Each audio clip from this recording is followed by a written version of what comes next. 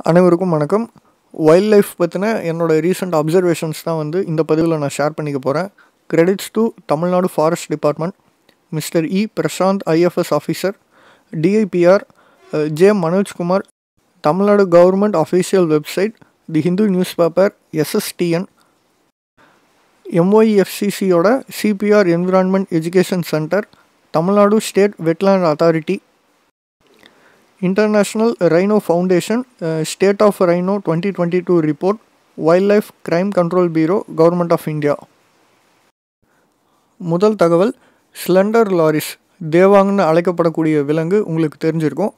தமிழ்நாட்டில் அதனுடைய வாழ்விடங்களாக கரூர் மற்றும் திண்டுக்கல் மாவட்டம் இருக்குது திண்டுக்கல் மாவட்டத்தில் பதினோராயிரத்தி எட்நூற்றி ஆறு ஹெக்டேர் நிலப்பகுதியானது. பிரத்யேகமாக சரணாலயம் அமைப்பதற்காக தமிழ்நாடு அரசின் வனத்துறையால் ஒதுக்கப்பட்டிருக்கு. இந்தியாவிலேயே முதல் தேவாங்கு சரணாலயம் இதன் மூலமாக தமிழ்நாட்டில் அமைய போகுது.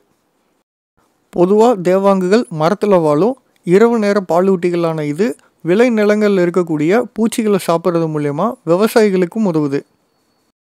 இயற்கை பாதுகாப்புக்கான சர்வதேச ஒன்றியம் ஐயூசிஎன் அமைப்பு இந்த தேவாங்கு இனத்தை அழிந்து வரும் உயிரினங்கள் பட்டியலில் வச்சுருக்காங்க.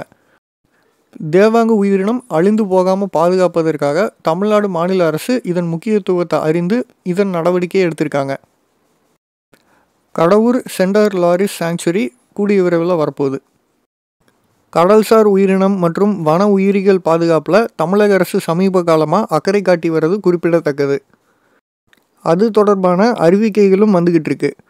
India's first dugong conservation reserve Palk பேல வரப்போகுது. பாக் வளைகுடாவில் இந்தியாவின் முதல் கடல் பசு பாதுகாப்பகம். ரெண்டாவது கழுவேலி பள்ளிக்கரணை பேர்ட் சாங்சுரி விழுப்புரம் மாவட்டத்தில். பறவைகள் சரணாலயம். மூணாவது அகத்தியர் மலை யானைகள் பாதுகாப்பகம். நாலாவது திருப்பூர் நஞ்சராயன்குளம் பறவைகள் சரணாலயம். யுனெஸ்கோவோட nineteen seventy one nineteen seventy five convention படி ராம்சர் சைட்ஸ் அப்படிங்கிறது சர்வதேச அளவில் முக்கியத்துவம் இருக்கக்கூடிய ஈரநில பகுதிகள். வெட்லேண்ட்ஸ் ஆர் மார்ஷ்லேண்ட்ஸ் அப்படின்னு சொல்லலாம். அதில் தமிழ்நாட்டில் இருக்கக்கூடிய ஒரு சில பகுதிகளையும் இன்க்ளூட் பண்ணுறதுக்கு உண்டான நடவடிக்கைகள். மூணாவது தகவல் தமிழ்நாடு ஃபாரஸ்ட் டிபார்ட்மெண்ட் சென்னை சர்க்கிள்லேருந்து வந்திருக்கக்கூடியது.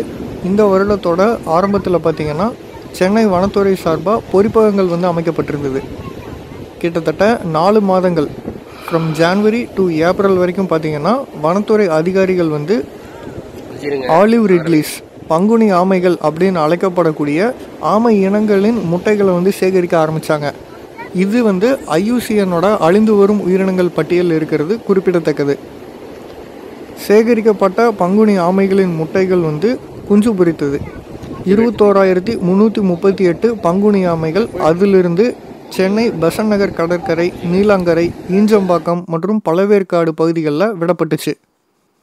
வனத்துறை அதிகாரிகளுக்கு உதவியாக student sea turtle conservation network SSTCN அப்படிங்கிற ஒரு வாலண்டியர் குரூப் சப்போர்ட்டிவாக இருக்குது நாலாவது தகவல் கிண்டி நேஷ்னல் பார்க் சென்னையில் அர்பன் அனிமல் ரெஸ்கியூ சென்டர் நகர்ப்புற விலங்கு மீட்பு மையம் வந்து ஒன்று அமைச்சிருக்காங்க. லாஸ்ட்டு ஜூலை கடைசியில் தான் பார்த்தீங்கன்னா இது திறந்து வச்சுருக்காங்க.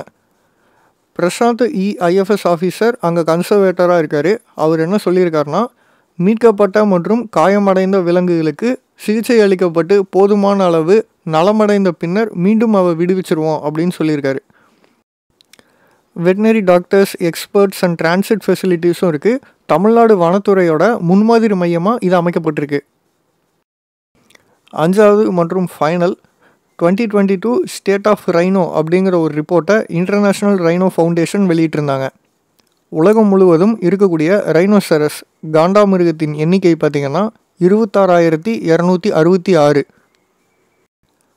உலகம் முழுவதும் ஐந்து வகையான காண்டாமிருக இனங்கள் வந்து இருக்குது ஆப்ரிக்காவில் இரண்டு இனங்கள் ஒயிட் ரைனோ செரட்டோதீரியம் சைமம் அப்புறம் பிளாக் ரைனோ டைசோரஸ் பைகார்னிஸ். ஆப்பிரிக்க கண்டத்திலேயே கிட்டத்தட்ட ஒரு பதினாறு நாடுகளில் மட்டும்தான் இந்த காண்டாமிருகங்கள் வந்து இருக்குது அதுலேயும் அதிகமாக எங்கே இருக்குதுன்னு பார்த்தீங்கன்னா South Africa Zimbabwe and Kenya. அதே சமயம் அங்கே தான் அதிகமாக வேட்டையாடவும் படுது. நெக்ஸ்ட்டு இந்தோனேஷியாவில் ரெண்டு வகையான காண்டாமிருக இனங்கள் இருக்குது ஜாவன் ரைனோ ரைனோசெரஸ் சொண்டைகஸ் அடுத்து சுமத்ரன் ரைனோ டைசரோ ரைனஸ் சுமத்ரினஸ். அப்புறம் India Bhutan and நேபாளில் greater one horned rhino rhinoceros யூனிகார்னிஸ் இனம் இருக்குது இன்டர்நேஷ்னல் ரைனோ ஃபவுண்டேஷன் டொனேஷன் மூலிமா அண்ட் ஒரு சில என்ஜிஓஸ் மூலிமா ஆப்ரேட் ஆகக்கூடிய ஒரு அமைப்பு. இது இந்த பல நாடுகளில் இருக்கக்கூடிய அரசாங்கத்தோட கைகோத்து ரைனோசரஸை பாதுகாக்கும் முயற்சியில் ஈடுபட்டிருக்காங்க. காண்டாமிருகத்தினுடைய எண்ணிக்கைகள் பல நாடுகளில் குறைந்துட்டு வருது இந்தியாவில் அதிகரிச்சுட்டு வருது. பல நாடுகளில் குறைவதற்குண்டான காரணம் வேளாண் நில பரவல் நகரமயமாக்கல் மற்றும் வேட்டையாடுதல். வாழ்விட பகுதிகளை இழப்பதாலோ அல்லது வேட்டையாடுவதன் மூலமாகவோ அதிக அளவில் இதனுடைய எண்ணிக்கை குறைந்துட்டு வருது.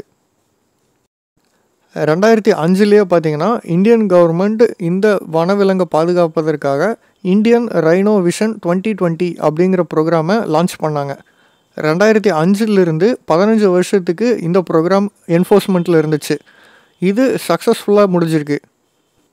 இதற்குண்டான முக்கியமான காரணம் strict enforcement of wildlife crime laws and commitment of எம்ஒஇஎஃப்சிசின்னு தான் சொல்லணும்.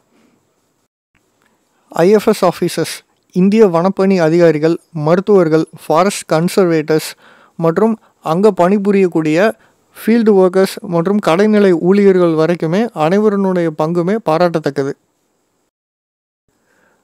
நம்ம மனிதர்களுடைய தலைமுடி மற்றும் நகங்களில் கெரட்டின் அப்படிங்கிற ஒரு வகையான புரதம் இருக்குது அதே புரதம்னா இந்த காண்டாமிருகத்தினுடைய கொம்புகளில் இருக்குது இது வரைக்கும் நிரூபிக்கப்பட்ட மருத்துவ ஆற்றல்ங்கிறது அந்த ஒற்றை கொம்புகளில் கிடையாது அப்படிங்கிறதான் வைல்ட் லைஃப் கிரைம் கண்ட்ரோல் பீரோவோட முழக்கமாக இருக்குது தற்போதைய காண்டாமிருகங்களின் எண்ணிக்கை இந்தியாவில் அஸ்ஸாம் வெஸ்ட் பெங்கால் அண்ட் உத்தரப்பிரதேஷ் மாநிலங்களில் இருக்குது அஸ்ஸாமில் காசிரங்கா நேஷ்னல் பார்க்கில் ரெண்டாயிரத்தி அறநூற்றி பதிமூணு ஓரங் நேஷ்னல் பார்க்கில் நூற்றி இருபத்தஞ்சு பபிதோரா வைல்ட் லைஃப் சாங்சுரியில் நூற்றி ஏழு மனாஸ் நேஷ்னல் பார்க்கில் நாற்பது அடுத்து வெஸ்ட் பெங்கால் ஸ்டேட்டில் ஜல்தபாரா தேசிய பூங்காவில் இரநூத்தி எண்பத்தி ஏழு கொருமாரா தேசிய பூங்காவில் ஐம்பத்தி ரெண்டு அப்புறம் துத்வா தேசிய பூங்கா உத்தரப்பிரதேசத்தில் முப்பத்தி எட்டு காண்டாமிருகங்கள் இருக்குது பணிபுரியும் அதிகாரிகளுக்குண்டான வழிகாட்டுதல்களும் வெளியிட்டிருக்காங்க.